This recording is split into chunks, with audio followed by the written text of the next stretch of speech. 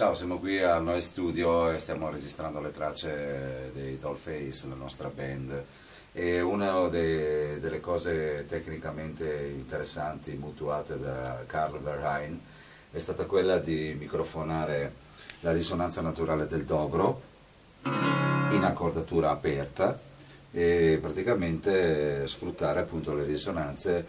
che mandano i cabinets, mandano in risonanza il dobro il risultato è una riverberazione naturale anche eh, molto interessante che potrete sentire in Nothing to Deny, uno dei nostri pezzi che abbiamo registrato, Stay Rock.